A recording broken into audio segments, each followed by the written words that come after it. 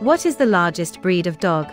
The Great Dane is capable of reaching a maximum weight of 175 pounds and a height of over 30 inches, making it the largest breed of dog.